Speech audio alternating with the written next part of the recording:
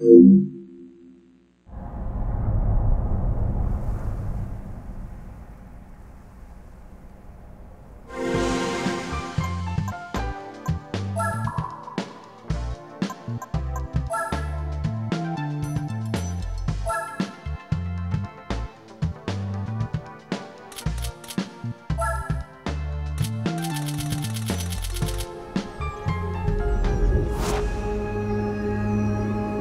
Today, all of our Gran Turismo dreams come true. Welcome to the only road-going TVR Cerbera Speed 12 ever made.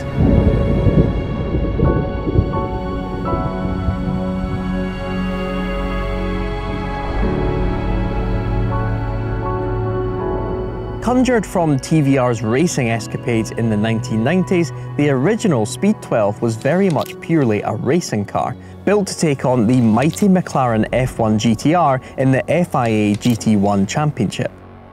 It was initially called Project 712, denoting 7 litres spread over 12 cylinders. Pure prototypes like the 911 GT1 quickly made the Speed 12 redundant in that category of racing, but TVR did have plans to make a few road-going versions. They created numerous road-going prototypes, but then TVR boss Peter Wheeler took one home one night and decided it was far too wild and brutal for the public. So he came back in in the morning and decided to can the project. All of the road-going prototypes were split up for spare parts for the race car project, apart from one. In 2003, TVR shocked the world by revealing this single road-going Cerbera Speed 12, made to look like a normal Cerbera, but really underneath it was completely bespoke, completely race car to contain that V12 Fury under there. There are good-looking cars, and then there are brutal function over form cars, and then there's this thing. I don't think there's ever been anything else like it. The McLaren F1 is one of the all-time greats and the Jag XJ220 is my personal favourite car of all time. But this thing, where do you even start? Well, I guess I'm an engine guy, so let's pop the bonnet and see what's happening under there. And when I say pop the bonnet, I mean tear the entire front end of the car off.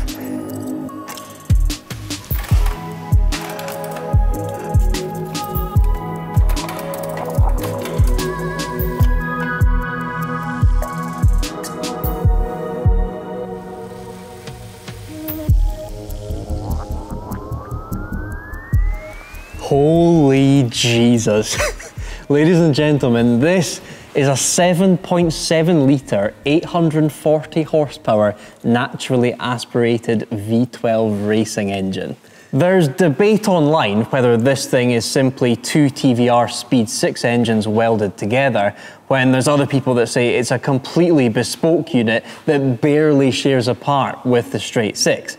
What we do know is that they put this V12 on a dyno back in the early 2000s that was rated to around 1,000 horsepower, and this engine completely blew up that dyno. So much so that they decided to tune the engine in two halves, two straight sixes, to then combine. They decided to detune it to 840 horsepower, although the current owner says they've had it up near 900 horsepower absolutely insane. So this Speed 12, if the dyno technology had been there back in the day, could have been even more mad than it ended up being. Let's say a thousand horsepower with a bit more work, this car only weighs a thousand kilos, otherworldly. I love how far back the block sits. It's way back from the front axle and it's dominated on top by these enormous carbon airboxes that are then connected by this slithering plenum in the middle. What a beautiful piece of engineering. And then kind of in contrast all of that, you've got these incredibly rudimentary but also functional intake pipes that snake over the front suspension and are fed by that front ducting. And then down here we've got the, the tubular exhaust system got three on top and then three way down tucked underneath, but they all feed in down the side of the car and I imagine meet somewhere down there. Then you've got this huge billet up front here that's got so much stuff attached to it, the suspension, there's oil lines going all through it. And I think my favorite bit of this whole design, the oil filter is right out front in the middle, kind of like the car's chin. If you have a front end crash, your oil filter is going to be the first casualty. I keep comparing it to the McLaren F1, but this thing is so much more brutal and organic than that car. I absolutely love it.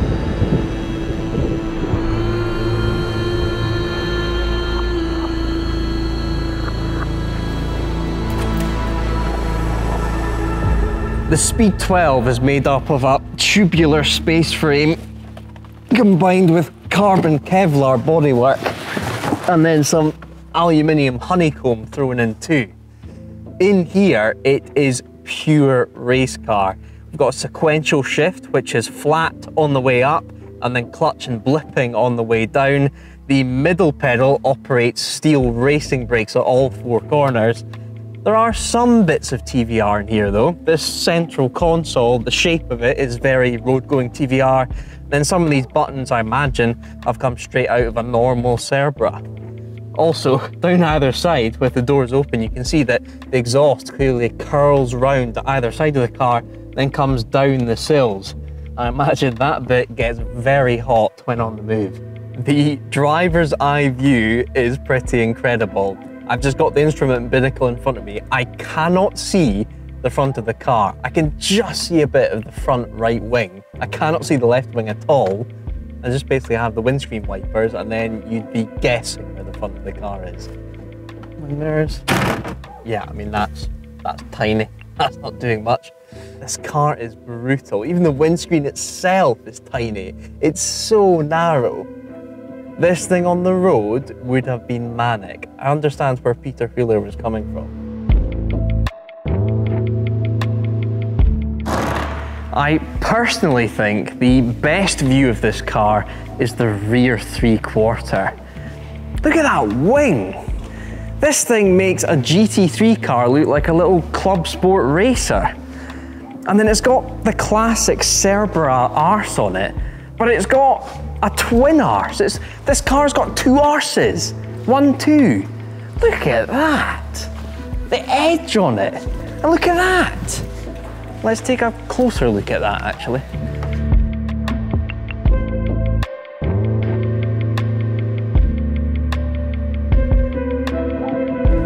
Now that we can see right in here, the back of the car is engineered exactly the same way as the front. At the front you've got billet and then tubular chassis, and then here you've got tubular and then billet.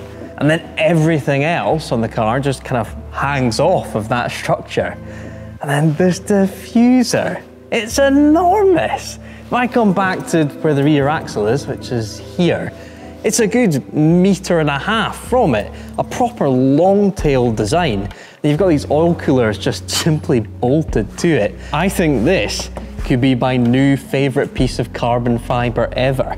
You can keep your Paganis and Koenigsegg's. This wins.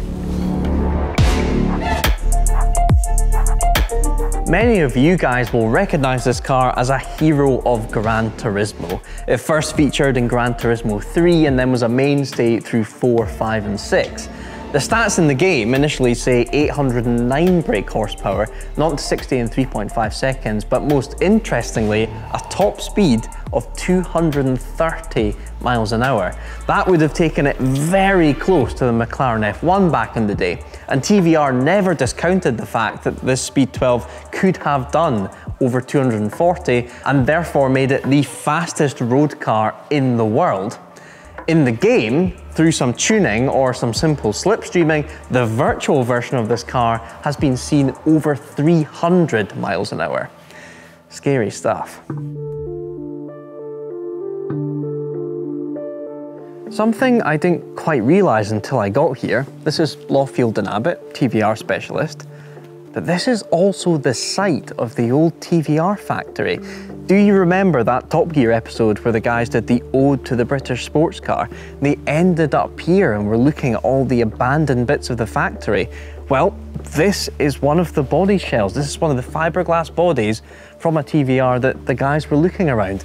This red brick building is one of the final bits of the original factory that's still around because sadly, through this fence, that there is the final remnants of the main TVR factory. It's now been completely demolished and is being redeveloped into new industrial space. It's so sad to see. Thankfully, stuff like that Speed 12 is still kicking around and what was really nice is the District TVR Club just turned up this morning to come and check out the car as well and have a chat with us filming. So that was really nice. But if you look at the news recently with TVR as well, this new incarnation of TVR isn't doing great either. They were going to launch that V8 Griffith and then they were going to launch an EV and it's all gone very quiet. So that is old TVR. New TVR isn't looking much better. Where's that brand going to go in future? Fundamentally, for me, the Cerbera is my favourite TVR. The Tuscan is cool and the Sagaris is a pretty slick piece of kit, but the muscularity of the Cerbera takes it for me. I quite fancy owning one at some point. Probably not this one, a straight six would do me. This car is going under the hammer at Silverstone Auctions Supercar Fest sale on the 20th of May, and their estimate is between four and five hundred thousand pounds. And to me, this thing is worth every penny of that. The guys here keep it in race-ready condition, both cosmetically and mechanically. And on that front, it'd be a shame to come all the way up here to Blackpool and not have this thing do its thing.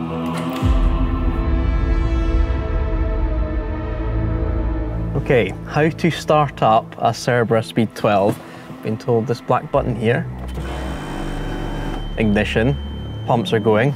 It's telling me pit you bastard, thank you. Now, hold down the black button with a tiny bit of throttle. Here we go.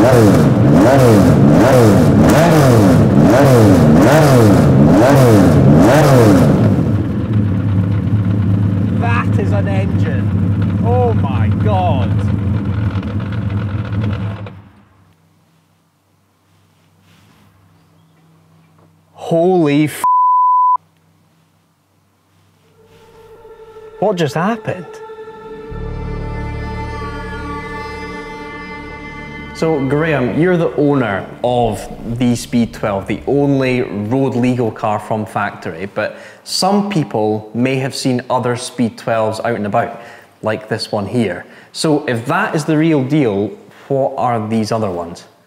I would call this car the sister car. Okay.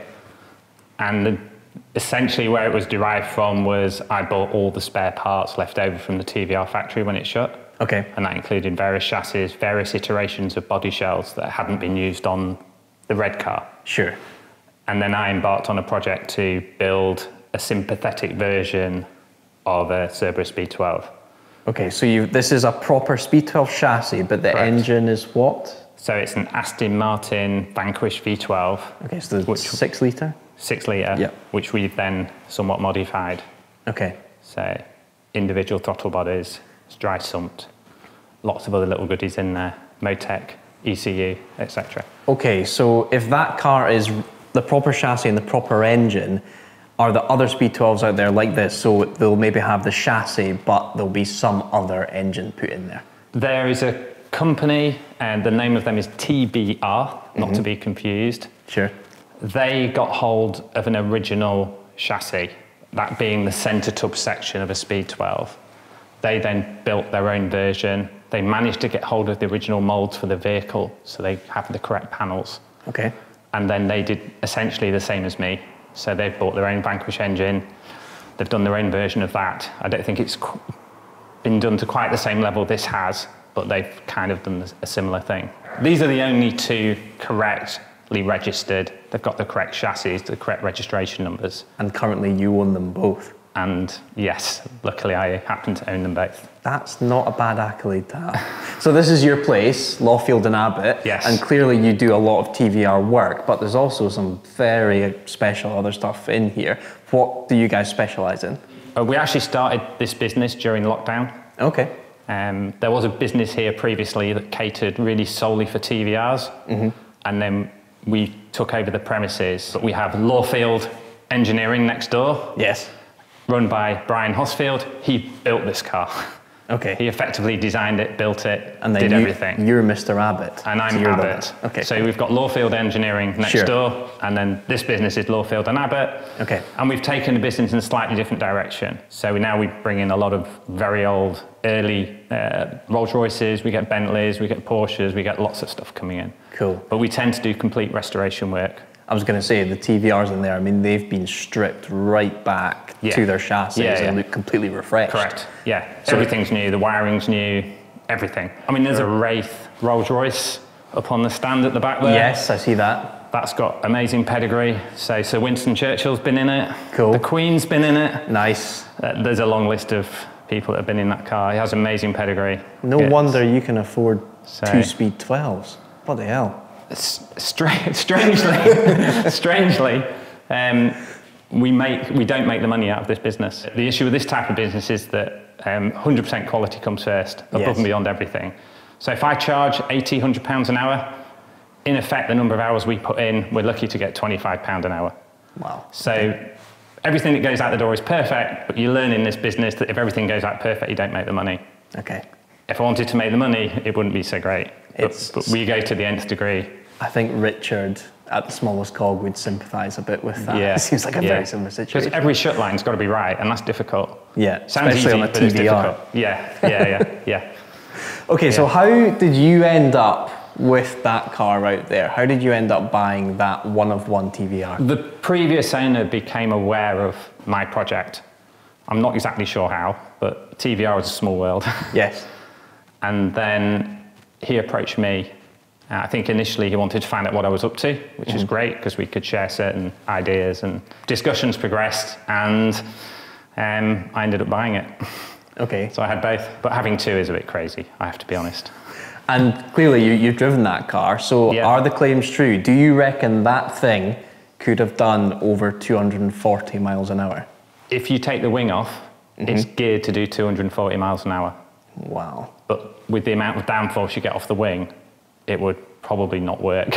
Okay. you, you, you might get to 220 or something, I don't know. But if you really want to see how it will go, you take the wing off. Sure. And then you really want a straight road. So I guess my final question is, why are you selling it? Um, two has been a lot for a long time, and I don't think I can really share my time faithfully between two. I run a business you know, 100 miles away from here, Sure. so I'm going to focus on the purple one. Uh-huh. And I had to make a tough choice between the two, and my heart is actually more with the purple one purely because I was so involved in building it. Yes. I love the red one, don't get me wrong, but I, I kind of get it. Like this is Yeah. a usable one. You're going to have this out at events you Yeah, know, yeah, throughout the year versus that one that's obviously a bit more, Yeah. you know, you need to be a bit more precious with that. that one just feels a bit too special. Yeah. So it comes out on very special occasions. This one, I come to the factory, we line it up, we take it out, no issues. Okay, well, thank you so much for having us, and I guess good luck with the sale. Thank you very much. Filming with this truly special one off car today is something that I'm probably going to remember for the rest of my life. Matt behind camera actually made a really good point. If you look at this car from certain angles and take in the mechanical makeup of it, it's actually very similar to the Aston Martin Vulcan, especially the track only one, the AMR Pro. Do you agree?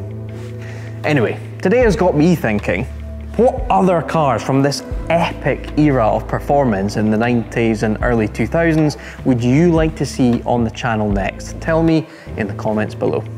If you like this video, give it a thumbs up. I've been Mike and don't forget to subscribe to Drive Tribe. P.S. I've been told a really cool fact. There's certain bits on this car that look like they're PPF'd. It's actually helicopter blade tape because PPF didn't exist back then. So TVR wanted to protect it, they used tape from helicopter blades.